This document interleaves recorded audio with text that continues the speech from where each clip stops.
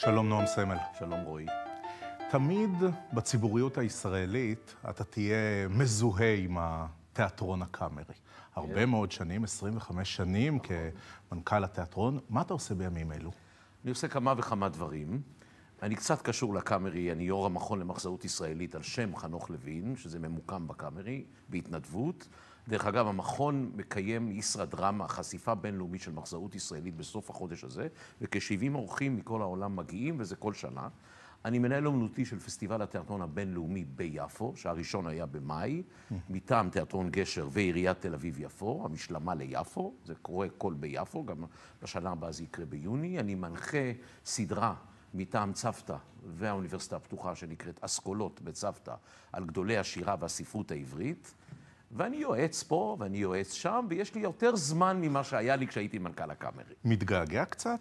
לכוח, לעוצמה. כשאני נכנס לאולם תיאטרון, כמו שקרה לי היום בבוקר, שנכנסתי לגשר והקימו תפאורה, נכנסתי עם איזה קונסול איטלקי, שאמור להביא לנו איזה להקת תיאטרון איטלקית לפסטיבל ביפו, ופתאום הריח והתכונה לקראת ההצגה עשו לי בבטן איזה פרפר שהסתובב לי ככה פתאום. כשאני נכנס מאחורי הקלעים במיוחד, ובכלל, כשאני נכנס לאולם תיאטרון, זה לא משנה אם זה קורה בתל אביב או בוורשה שהייתי לפני שבוע. זה הופך לי את הקרביים, כן. אני רוצה להיעזר בך כפרשן, כמומחה. אנחנו אה, בשבוע שבו אושר בקריאה ראשונה התיקון אה, לחוק נאמנות בתרבות של כן. שרת התרבות מירי רגב. נאמנות לתרבות. נועם סמל, אנחנו בעיצומה של מלחמת תרבות פה? אני לא הייתי קורא לה מלחמה, ואנחנו בעיצומה של מאבק גדול מאוד על חופש הביטוי וחופש היצירה, ואתה יודע מה, אני בדרך מתל אביב לכאן, אמרתי, אתה בטח תשאל אותי על העניין הזה, אז למעשה צריך למחוק מהתנ"ך את כל נביאי ישראל. את ישעיהו ואת ירמיהו ואת עמוס. הרי מה הם דיברו? הם דיברו כנגד השלטון, כנגד השחיתות, פרות הבשן, כל מיני ביטויים. אבל הם שלא... לא קיבלו תקציב מהשלטון. הם קיבלו הגנה מהשלטון, הם קיבלו הגנה. והמסנטים שבזכותם מיקל אנג'לו צלצל את הקפלה, צייר את הקפלה הסיקסטינית ברומא, הוא צייר עם ביקורת ציבורית על השליט ועל הדוכס ועל כל מישהו שלא מצא חן בעיניו. ולאורך כל ההיסטוריה, גם בהיסטוריה שלנו, היה לשבוע שעבר איזה מאמר מאוד מרתק של מאור זגורי, המחזאי והבמאי, mm-hmm. על כל העניין הזה, והוא דיבר על כל ההשגות ועל כל הסרטים ועל סאלח שבתי. תמיד היוצרים והאומנים והציירים מביעים התרסה או ביקורת גם על השלטון וגם על אחרים, לא רק על השלטון. ושלטון שלא מוכן לקבל ביקורת, בכלל, דרך אגב, אני נוסע... אבל, אבל כל שלטון לא מוכן לקבל ביקורת. כל שלטון בשלטון, יש לו בעיה. גם שלטון מפא"י. אה, עסק בלא מעט צנזורה באמצעות אה, תקציבים. כן, אבל כל... אחרי 40 שנים של שלטון שליט... הליכוד נוטים לי, לשכוח את זה קצת. אבל כל שליט, אבל דווקא בתקופת שלטון הליכוד, בשנות ה-80, בוטלה הצנזורה. בוטלה הצנזורה לאחר המהפך הגדול, שבגין זכה בשלטון, בוטלה הצנזורה על סרטים ומחזות, צנזורה שהייתה קיימת מכוח חוק מנדטורי מהתקופה שהיינו תחת שלטון המנדט. זאת אומרת, אתה לא יכול לעצור את העניין של היצירה, אתה לא יכול לחסום שור בדישו, אתה לא יכול. היצירה תנצח לאורך כל ההיסטוריה, אריסטופנס ואריסטו וביאליק. דרך אגב, ביאליק, שלחו את ביאליק אחרי פרעות קישינב, אחד העם וראשי הציבור היהודי, לא מעיתונאי ולא חוקר, אלא את ביאליק המשורר, שהוא ידווח לנו מה קרה שם. והוא כותב שם את בעיר ההרגה. מה הוא עושה? הוא עושה ביקור, הוא גם ביקורת על הקהילה, גם ביקורת כמובן על, על, על הפורעים שפרעו ואנסו ועשו כל מה שעשו, ואנחנו זוכרים את היצירה עד היום הזה. היצירה מלווה את, אותנו לאורך כל חיינו. נועם, לא יכול תוכל להיות. לעצור את ה... הביקורת הזאת גם מרגיזה אותי, אני מוכרח להגיד עוד משהו. למה אין חוק נאמנות על בטיחות בדרכים? למה אין חוק נאמנות על נושאים אחרים? רק האומנים הם הבוגדים, הם הכאילו האנטי... הם מקבלים את כספי משלם המיסים, ויכול להיות שמקבל... שאומר לעצמו, כן. שאומר לעצמו, אה, מצביע מרץ, הוא כן. אומר, אני לא רוצה שהכסף שלי ילך לא, להיכל. לא, לא, התרבות באריאל, ואומר לעצמו, מצביע הליכוד, אני לא רוצה שהכסף שלי ילך ילך כדי שיעלו הצגה זו או אחרת שמבזה, לכאורה, לטעמו כמובן, את השלטון בישראל או את הציונות, או כל דבר אחר שפוגע ברגשות שלו. ובאמת, בעצם יכול להיות שכל מימון ציבורי, כל כספי מיסים, הוא בהכרח צנזורה מסוג זה או אחר. אז מה תגיד על החרדים שלא משרתים בצה"ל? כל האומנים במדינת ישראל משרתים בצה"ל. אה, זו הכללה. לא. כל האומנים, יחסית לכל ה... אין... יחסית אולי הפלח לחרדים. האוכלוסייה הזה של האומנים הוא לא שונה מפלח אוכלוסייה אחר של תושבי ישראל, למעט החרדים ולמעט כן, ערביי אבל ד- ישראל. דווקא אולי נושא השירות בצה"ל, לא הוא לא נכון, דבר לא שהאומנים נכון. אני אומר בישראל לך, אני, מצטיינים בו. בנוסף לכל מה שאמרתי לך קודם, אני גם מנחה ומגיש תוכנית טלוויזיה שנקראת שישי תרבות, יחד עם מאיה כהן, בתאגיד הציבורי. ואני, יש לי רובי. כל אומן שמגיע אליי, אני שואל אותו מה הוא היה בצה"ל. ומה איתי ואני טירן, מגלה ומה שרובם איתי- היו ביחידות קרביות. ומה איתי טירן עונה לך? איתי טירן, באמת יש בעיה, הייתה לו איזה מחלה, וזה פשלה של הצבא. דרך אגב, זה פשלה של צה"ל. אם אני הייתי היום הרמטכ"ל של צה"ל, או שר הביטחון, לא הייתי משחרר אף אחד. אני פעם עשיתי, הקמתי תנועה למען שירות לאומי חובה. אני לא הייתי משחרר אף אחד ללא יוצא מן הכלל, לא את ערביי ישראל, לא את הדרוזים, לא את הבדואים ולא את החרדים. זאת אומרת, זה לא יכול בעיה להיות. של ה... של ה- יכול להיות שמירי רגב- זה בעיה של השלטון. יכול להיות שמירי רגב, בחושים הפוליטיים המאוד מאוד מושחזים שלה, היא עלתה פה על משהו. מפני ש...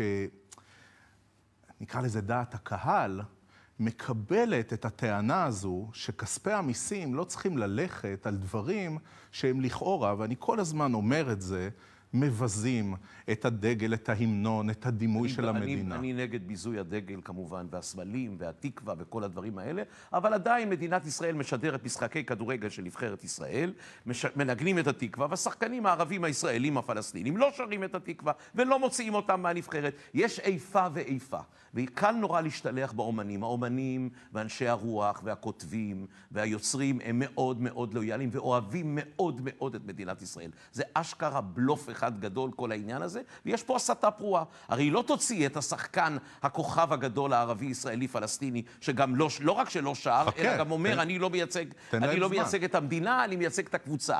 אז הנה דוגמה אחת, ואני אומר לך יש שיש... קיום, בוא ניקח לדוגמה את הקאמרי, אבל שאותו קודם אתה כל, מכיר. לא, אמרת דבר שאתה לא נתת לי לענות על זה. אמרת כספי המיסים. כספי המיסים שייכים לכולנו, גם שייכים לי, ושייכים לך, ושייכים להיכל התרבות באריאל, ואני כמנכ"ל הקאמרי הייתי הראשון שחתם על ההסכם להופיע באריאל. אמרתי לרון נחמן, זיכרונו לברכה, ייתכן שחלק מהשחקנים לא יסכימו, אז אני אחליף אותם. הוא אמר, בסדר, ייתכן שכל משתתפי ההצגה לא יסכימו, אז אני אחליף את ההצגה. אבל אני באתי ואמרתי, זה חלק ממדינת ישראל, זה לא חוץ לארץ, הם משלמים מיסים, הם משלמים ביטוח לאומי, הם הולכים לצה"ל, מגיע הם להם את. המנה המסובסדת של התיאטרון הישראלי. ואני לא ראיתי גם אף סופר או משורר שאומר לסטמצקי, אל תמכור את הספרים שלי באריאל. גם את זה לא ראיתי. אתה מבין? יש לי ביקורת על כולם, אני לא... ופה- אני לא עושה פה איפה ופה ואיפה בעניין ופה הזה. יש עניין, מפני שהמוזיקה הישראלית הפופולרית מתקיימת אה, היטב בלי מימון ציבורי, וגם אה, סופרים מתקיימים ללא מימון קודם ציבורי. כל זה טעות. המוזיקה הישראלית מסובסדת על ידי אשכולות, שזה זכויות מבצעים, הרדיו לא, זה והטלוויזיה. זכויות יוצרים. ה- ה- ה- שלמה ארצי- זכויות שלמה ארצי זכויות מקבל. כסף מהמדינה. תשמע, זה לא סבסוד ישיר, זה גם המילה סבסוד היא לא נכונה, אבל המדינה שלנו עדיין סוציאליסטית בולשביקית, עדיין. וועד עובדי תעשייה אווירית, וחבר, וכל אלה קונים הצגות שלמות וקונצרטים שלמים. הם לא מסובסדים, אבל גם, גם בקאמרי וגם בהבימה וגם בבית לסין, זה לא סבסוד ישיר לאומן. המוסד מקבל, מוזיאון תל אביב מקבל. יש- מוזיאון ישראל שומר את כל, המוצ... את כל היצירות האומנותיות הגדולות והארכיאולוגיה של העם היהודי בישראל. אז מגיע לו, זה לא... נועם סמל, כן. יש קיום לתיאטרון הקאמרי, לשם הדוגמה, כי כן. את הטבלאות אקסל שלו אתה מכיר היטב, יש קיום לתיאטרון הקאמרי בלי הכסף של משרד התרבות שמועבר אליו כל, בכל העולם מדי שנה? המערבי וגם במזרח אירופה, תיאטרון רפרטוארי מקבל סובסידיה של 80 עד 90 אחוז, בארץ זה פחות מ-25 אחוז. לפחות הקאמרי, הבימה לסין. וכמה מיליונים זה מדי שנה? בערך. לגבי הקאמרי זה 12 מיליון שקל מהממשלה, 12 מיליון שקל מהעירייה, ועוד 80 וכמה מיליון שקל מהכנסה עצמית ממכירת כרטיסים. 24 ומינויים. מיליון 24 כספי מיליון מיסים. מתוך 110 בזמן כהונתי, אני לא יודע מה המצב של היום. ודאי. זאת אומרת, קודם כל זה מקובל בכל העולם. זה חלק מערכי הדמוקרטיה. אנחנו הרי גאים כל הזמן להגיד, אנחנו הדמוקרטיה היחידה במזרח ונועם התיכון. סמל, בלי 24 מיליונים האלו, יהיה יש קשה קיום? מאוד, כן, יהיה קשה מאוד, ואז יהיו כרטיסים כמו בברודוויי ב-700 שקל, ב-800 שקל או ב-1,000 דולר, רק ליפי נפש או לעשירים, או רק בתל אביב, לא תציג בפריפריה, לא תביא הצגות לתלמידי תיכון, לא תעשה תרבות יום א' לחיילי צה"ל, זה חלק מהתמורה שמקבל משלם המיסים הישראלי מהתיאטרון הרפרטוארי הישראלי, שהוא אחד המפותחים בעולם. זה לא רק אלה שהזכרתי, יש גם חיפה ובאר שבע. יכול להיות שזה אינטרס מה? של קברניטי התרבות והאומנות בישראל לחתוך את אה, צינור ההעברות הזה כדי לעשות פה אומנות ותרבות משוחררת מלחצים פוליטיים. אני לא חושב. אני חושב שהעניין הזה של חופש הביטוי וחופש האומנות וחופש היצירה הוא ב-DNA של האומנים והיוצרים, ואני מדבר על כל מגוון היצירה. תשמע, אם אתה נכנס ואתה רואה יצירה של גרקו, נניח, במוזיאון בספרד, או אם אתה רואה את משמר.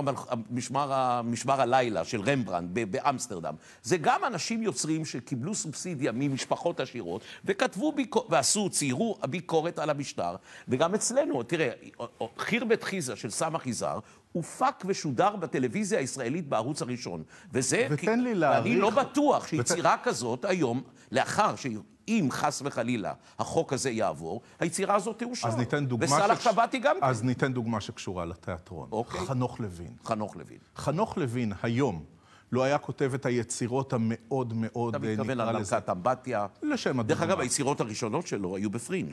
את ואני והמלחמה הבאה וקטשופ היו במרתף בקולנוע פריז, או בברברים באיזה מוסך ברחוב המסגר בתל אביב, והן אה, עלו ועוררו תהודה גדולה, ואז הקאמרי באמת, ב-1969-70, החליט להעלות את מלכת אמבטיה, באולם- גולדה מאיר בשלטון. באולם בנחמן. באולם נחמני, ובאמת ההצגה ירדה בלחץ הקולקטיב של הקאמרי. הקאמרי אז לא נשלט על ידי מנכ"ל ומנהל אומנותי, אלא על ידי השחקנים שהיו קולקטיב, וגם בלחץ דעת הקהל, ואנחנו היינו הרי אימפריה, זה תקופת מלחמת ההתשה. ובא חנוך לוין ותקע סיכה קטנה, קטנה. חנוך לוין בנובמבר 2018 היה עולה? תראה, יש כל מיני חנוך לוין. יש חנוך לוין המיתולוגי.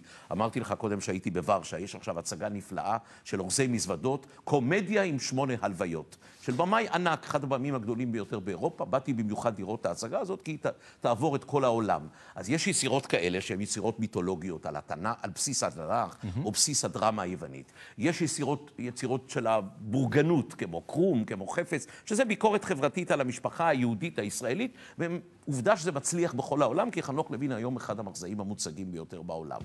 לגבי היצירות הפוליטיות של חנוך לוין, תשמע, היצירה הפוליטית האחרונה שעלתה, עלתה בקאמרי ב-1998, קראו לה רצח, עוד מעט 20 שנה? נכון. אה, זאת יצירה שעלתה אה, בקאמרי ב-1998, לאחר שראש הממשלה דאז, שהיה ביבי נתניהו, פתח את מנהרות הכותל, והיו הרבה מאוד קורבנות, גם מהצד שלנו וגם מהצד הפלסטיני, וחנוך לוין בא לאשתי נאוה, זיכרונה לברכה, נאוה סמל, והציע לה שהם יקשרו את עצמם, הם ועוד כמה יוצרים, לכניסה של הבימה ולכניסה של הקאמרי, ולמזלי, הוא טלפן אליי בשבת בבוקר, והרמתי את הטלפון, טלפן אליה, לא אליי, ואמרתי לו, חנוך, מה, אתם מפגינים גדולים? תכתוב מחזה. ואחרי שלושה חודשים הוא הביא לעומרי ניצן ולי את המחזה שנקרא רצח, שהופק ב-1998, כשהארץ מלאה בפיגועים, קשה מאוד, על מעגל הדמים. חייל ישראלי נדקר על ידי נער פלסטיני, שלושה חיילים ישראלים נוקמים בו, מענים אותו, אחר כך האבא של אותו, חי... אותו נער פלסטיני בא לחוף הים נועם. סמל, שני עשורים קדימה, יש היום מנהל אומנותי של תיאטרון בישראל שהיה מעלה את ההצגה הזו? אני לא יודע, אני מציב בפניו אתגר. במקרה ההצגה הזאת מועלית בימים אלה בהפקה של תיאטרון אוניברסיטת תל אביב, שאומץ על ידי צוותא בתל אביב, שהבת שלי, הלעיל סמל ביימה, עם שחקנים יהודים וערבים, בעברית ובערבית.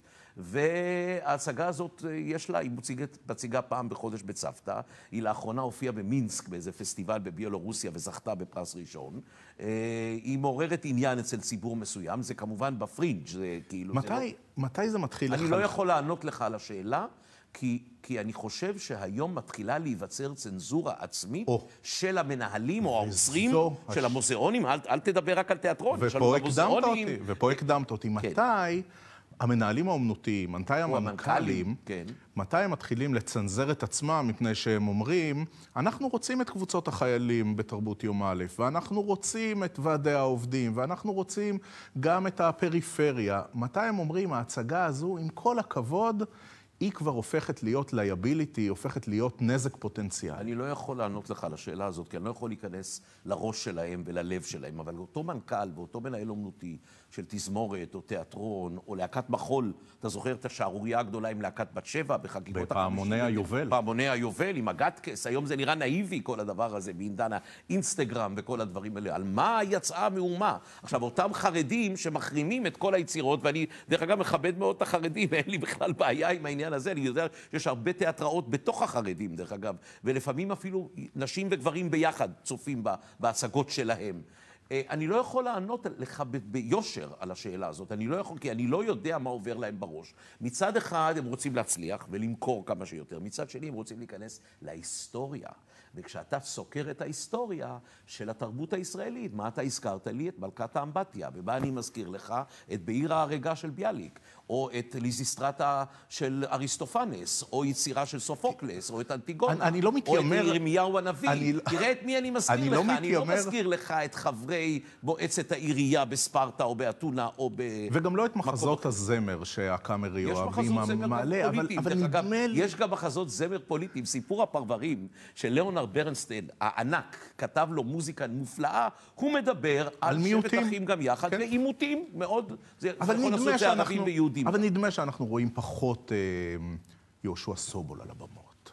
יהושע סובול, יהושע סובול של שנות ה-80 וה-70 מועלה. זה גטו, וזה נכון שיהושע סובול של, של התקופה שאני הייתי מנכ"ל תיאטרון חיפה, שכתב מחזה שנקרא פלסטינאית. הנה סיפור מדהים. באמצע שנות ה-80 עולה מחזה שנקרא פלסטינאית, ואסור להגיד בתקשורת את המילה פלסטינאית או פלסטינאים. אסור. והמחזה עולה. ויש ביקורת, ובשעה שמונה בבוקר... זה רק עבור הצופים שלנו שחושבים שצנזורה זה רק עניין של שנת 2018. לא, זה היה כבר אז. למשל, קודם כל הייתה צנזורה רשמית, אבל אני מדבר על צנזורה של עולם אמרה, התקשורת, של עולם התקשורת. ואנחנו עוד זוכרים מה אמרה מרים טסה גלאזר. נכון, על, על איסורי איוב ועל הזונה הגדולה מבבל, מה אמרו? יצירות של חנוך לוין לא פוליטיות, אלא הערווה מתדלדלת על פני הבמה, או הביטויים הבוטים של חנוך לוין, והנה חנוך לוין הוא המחזאי המוצג ביותר היום בעולם. אני משמש כיושב ראש המכון למחזאות על שם לוין, ואני מאוד גאה ביצירתו. נועם סמל, יכול להיות שאנחנו מגזימים. יכול להיות שבעצם כל מה שמירי רגב עושה היום, עשו כבר בעבר. עשו את זה המפאיניקים, ועשו את זה אחרי זה המפד"לניקים, כשהם היו שרי חינוך ותרבות. ויכול להיות שהיא עושה את זה יותר בכישרון, והיא באמת uh, תוקעת את האצבע בעין דרך פייסבוק ודרך הרשתות החברתיות ב- ביותר הצלחה, אבל זה בסך הכל סיבוב שני או שלישי של אותה צנזורה פוליטית שתמיד איכשהו שזורה פה. שלא תצלח. היא לא תצלח. שום צנזורה. גם ברוסיה הסובייטית, הבולשביקית, שהייתי שם בסיור עם מנהלי תיאטרון, ובשיא הדבר הזה מציגים את המלט, ואומר מי שאומר משהו רקוב בממלכת דנמרק, וכל האולם קם על הרגליים ומוחא כפיים. גם בימי צ'אושסקו, הדיקטטור הנורא, ואני לא משווה, חס וחלילה, אני לא משווה. המאבק הזה בין שלטון לבין אומנים, לבין יוצרים, לבין אנשי רוח, הוא תמיד, הוא תמיד. אתה יודע, יכול להיות שזה דבר אינהרנטי וטוב. בקונגרס הציוני השלישי, שהיה ב-1903 באירופה, לא רצו לדון איזה תרבות תהיה במדינה היהודית. אמרו, לא חשוב, תרבות זה דבר של הסברה, זה פרופוגנדה. את זה מירי רגב לא מבינה. קם פרופסור, אה, פרופסור אה, מרטין בובר. Mm-hmm. קם פרופסור מרטין בובר ונאם, היה צעיר, בן עשרים ומשהו, קם ואמר, גבירותיי ורבותיי, בעיקר רבותיי, גבירות הרבה, רבות לא היו שם. אדם, התרבות של עם, אני ממשיל אותה לנשמה של אדם. כאילו אנחנו נקים מדינה עם ראש וגולגולת ועצמות ורגליים, אבל לא יהיה בו נשמה. הנשמה של עם היא התרבות של העם. אבל הקרב אי אפשר של... לכפות בצנזורה את התרבות. אבל אתה אמרת של בתחילת מי... הרעיון שלנו, אני ככה נתתי לך לדלג מהר מאוד על העניין הזה, סמלי המדינה. אין יוצר שנוגע בסמלי המדינה, אבל אם תהיה ביקורת על סמלי המדינה, זה לא אומר שהיוצר שונא את המדינה, או, או, או חס וחלילה בז לה. אבל למשל, מדברים על חוק הנכבה, או יום הנכבה, ועל זה מדברים. אנחנו הפכנו את הנכבה ל, ל, ליום אירוע. אנחנו, אנחנו. הלשון שלנו משתמשת ביום הנכבה. הרי זה ביטוי ערבי פלסטיני מוסלמי, נכון? מה, הביקורת, אנחנו הפכנו את האינתיפאדה למרי אזרחי. אנחנו בעצם יוצרים מיתולוגיה תרבותית של האויב שלנו. הביקורת של מירי רגב... היא לא רק האם היוצרים הם נאמנים מספיק, ציונים מספיק. היא ביקורת שאומרת, שמים יותר מדי כסף על תרבות בתל אביב, שוכחים את הפריפריה. זה כבר טופל, אבל זה כבר טופל. שוכחים את התרבות המזרחית, את התרבות של מי שעלו הנה ממדינות ערב ויוצאי המגרב. יש אשכנזיות יתר של התרבות הישראלית? אני לא רוצה להתנצל, כי זה פשוט משחק אבוד. זה, אני חושב שזה לא נכון. ברור שכל דור, כל דור... אומרת שרת התרבות, מתגאה, אני לא קראתי את צ'כוב. היה דור שבא במזרח אירופה, אחר כך בא דור של עלייה מארצות ערביות. אני חושב שכל דור הטביע את חותמו, והרוסים שהגיעו בשנות ה-90 קיטרו על זה שאנחנו משתלטים עליהם, אנחנו הצברים. כל דור תרם לפסיפס התרבותי המדהים של מדינת ישראל. תראה, יש לנו להקות מחול, אתה לא הזכרת מחול, גם מחול יכול להיות פוליטי, דיברנו על זה קודם. להקות המחול של ישראל זה 20 להקות מחול, ולא רק להקת בת שבע, עם אוהד נהרין הנהדר, הן להקות הטובות ביותר בעולם. לא מדברים על זה בכלל. עכשיו, יש פה כישרון עצום, דווקא של הערבוב הזה, של הגזעים והעדות וה, והגלויות, וגם יהודים וגם ערבים, וכל הדברים האלה. אתה רואה את זה בנבחרת ישראל בכדורגל, או באיזה קבוצת כדורסל, אבל אתה גם רואה את זה בקבוצת תיאטרון, או קבוצת מחול, או קבוצת מוזיקה. זה דבר מדהים, המוזיקה פה, הדי-ג'אים הכי טובים בעולם היום באים מפה. זאת אומרת, יש פה יצירה מופלאה, היא מקשקשת בעניין הזה. יש דברים שאולי היא צודקת. במה היא צודקת? להעדיף את הפריפריה. אולי, אולי צריך להעדיף את הפריפריה, אבל בוא, טול קורה מבין עיניך. אם אתה רוצה ש... שרת שיהיה... תרבות שאומרת, אני לא קראתי ואני לא קוראת את צ'כוב. בסדר, זה פרובוקציה. אל תקנה את זה. זה פרובוקציה. אין לך מה להיכנס איתה לוויכוח. זה, זה פרובוקציה מתוכננת מראש, ואני לא רוצה להיגרר לזה. אבל התחלתי להגיד משהו. אבל, אבל בכך אולי גם לגבי הפריפריה, מתחברת יותר לרוב, נוגע, אתה, לרוב הישראלים שלא... אתה מצית אותי בכל כך הרבה נושאים, אתה לא נותן לי לענות. אז... שלא קראו את צ'כוב. בסדר. א', א', זה לא אסון מצד אחד. מצד שני, זה, אני, אני מצטער עליהם, בגלל שזה אחד היוצרים הגדולים במאה ה-20, שגם היה רופא וגם סופר וגם מחזאי, ויצירה שלו היא מופלאה. ודרך אגב, אחת היצירות הגדולות ביותר של חנוך לוין, אשכבה, היא בעקבות שלושה סיפורים קצרים, קצרים של צ'כוב. זאת אומרת, זה באמת אדם שהשפיע על עולם גדול, כמו ארתור מילר האמריקאי היהודי, וכמו ניל סיימון היהודי האמריקאי, כל אחד בדרכו שלו. אני לא משווה, בטח שצ'כוב הוא אחד היוצרים הגדולים הגדולים ביותר בתיאטרון. היא ניסתה להתריס כדי... זה לדעתי הייתה הצגה. זה לא נראה לי, דרך אגב, הרבה מאוד מהאמירות שלה הם... יכול להיות שהיו. אני לא רוצה לדבר גם עליה, כי היא לא הבעיה בכלל. לא, אבל יכול להיות שמי שנופל למלכודת הזו, הם היוצרים. הם קברניטי התרבות, שמשרתים את האינטרסים הפוליטיים שבסופו של דבר יבואו לידי ביטוי בפריימריז בליכוד. תשמע, אני לא פוליטיקאי, ואני לא מטפל בפוליטיקה, לא, ואני לא קומיסר, לי... ואני לא יכול להיכנס למגרש הזה. אני, אני לא יכול לדעת מה קורה. אני חושב שחלק מהדברים, דרך אגב, שהיא אמרה, לגבי קרנות הקולנוע, או אני לא מדבר על חוק הקולנוע, על חלופה, על קדנציות, על כל מיני... הם לגיטימיים, זה ויכוח לגיטימי, ואני האחרון בעולם שאתקוף אותה על זה. זה מצד אחד. מצד שני, להגיד שיש פה אפליה עדתית תרבותית, אני לא חושב. כי אני כמנכ"ל של תיאטרון, אני יכול להגיד לך שכל בדל כישרון שהגיע לשולחננו, שלי ושל עמרי ניצן ושל הלקטורים, היינו מתנפלים עליו, כל בדל כישרון ישראלי. אם זה שחקן, אם זה במאי ואם זה כותב, או אם זה תפאורן. כל בדל כישרון. מעולם לא שאלנו את היוצר מאיזה מוצא הוא. מעולם, מעולם, מעולם, מעולם. ניסיתם לברר מאיזה מוצא הקהל? אולי גם כדי להגיע לקהלים חדשים? אני מדבר בשם תיאטרון. אני ודאי. יכול, אני לא יכול לדבר בשם תיאטרונים אחרים, אני יכול לדבר בשם הקאמרית, שניהלתי אותו כמעט 25 שנה. אני חושב שהיו לנו קהלים מכל השכבות של הקהל הישראלי. כשהעלינו מחזה של אמנון לוי ורמי דנון, שיינדלה או תיקון חצות, באו חרדים. כשהעלינו מחזה כמו קזבלן, מחזה מר כמו קזבלן, הגיע כל עם ישראל, כולל ערבים ישראלים. אתה לא, כנר על הגג, אין על מה לדבר. זאת אומרת, יש יצירות כאלה ויש יצירות כאלה. זאת אומרת, אי אפשר לעשות הכללה. עלה במכה אחת. אתה יודע שהקאמרי הביא, מביא בשעריו קרוב למיליון צופים. אין דבר כזה בעולם. חוץ מהתיאטרון הלאומי הבריטי, שכל העולם נוהר ללונדון... אז אם הוא כל כך מצליח, למה צריך עדיין להעביר אליו 24 מיליון. שקלים כספי מיסים? לא גובה, אנחנו לא גובים כרטיסים 1,500 שקל או 1,000 שקל כרטיס, כמו, כמו מוסדות אה, מסחריים בארצות הברית או באירופה המערבית. לא, אבל אם מדובר... מתהדרים בכמה התיאטרון מצליח, אבל זה אומר שאתה שיצליח. לוקח את ה-24 מיליון שקל שאתה מקבל, קודם כל חצי מזה מעיריית תל אביב, ועוד חצי מזה ממשרד התרבות שלנו, גם שלי וגם שלך, כי אנחנו משלמים מיסים, ואתה לוקח את זה ואתה מנצל את זה... סמל, אם הייתם מוותרים אז אני מדבר אליך עדיין כאילו לא אתה לא- המנכ"ל של הקאמרי. אבל אם מוותרים על 12 המיליון האלו, אפשר לעשות פשוט כל תנועה שרק רוצים דבר- כלפי הממשלה ולהגיד, תתרחקו אתה גם מפה. כן לא יכול. אנחנו לא בידיים כי אתה שלכם. גם לא יכול, כי אתה משתמש במתקן של עיריית תל אביב-יפו, ואתה מקבל מעיריית תל אביב-יפו, שהיא גם כן מתנהלת על ידי ראש עיר וקואליציה, ויש לחצים, וגם עיריית תל אביב קשורה לממשלה.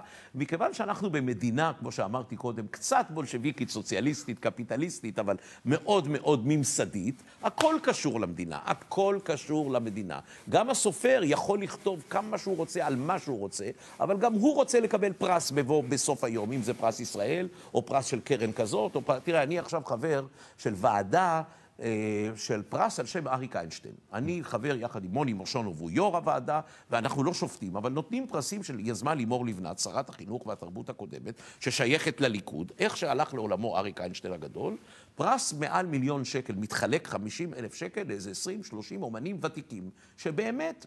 זה נותן להם את טעם החיים בסוף החיים.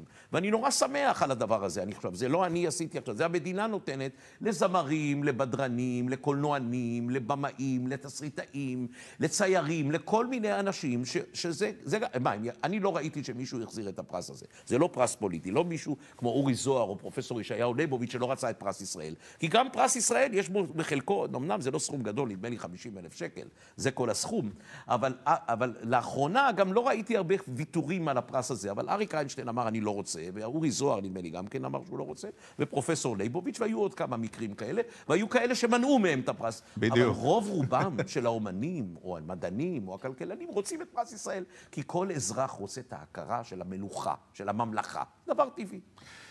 נועם סמל, בעוד אה, כחודש אה, תציין אה, שנה לפרידה מרעייתך, נאוה סמל. ולאחרונה, בהחלט, אה, כלומר, היא לא זכתה לראות את זה, אבל אה, הצגה שלה בקפריסין הטורקי, נכון. היא זוכה להצלחה גדולה. נכון. זה באמת היה בימים האחרונים לחייה, במאי טורקי, כמאל בשאר. הנה הכוח של יצירה שחוצה גבולות. תוך כדי הבלגן הגדול בעזה, ואני הזמנתי את ההצגה הזאת מאחורי העיניים מחזמר, על אימא ששולחת את בנה בין השש לכיתה א', הוא חולה בתסמונת דאון, מה עובר לה בראש? והבעל שלה רץ ג'וגינג מסביב לדירה, כשה...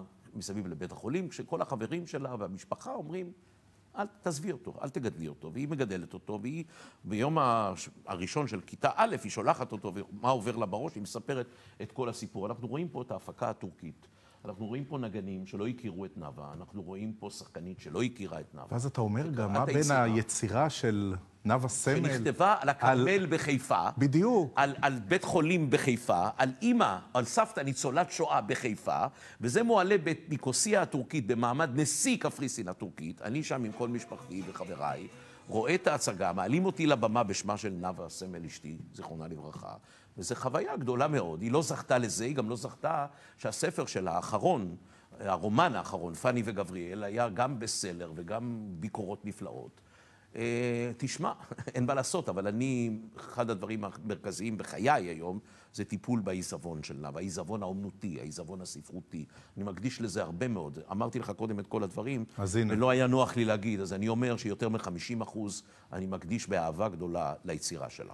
עד כמה אתה מופתע מכך שקהל ויוצרים, שהם לא מישראל, והם לא מכירים את ה...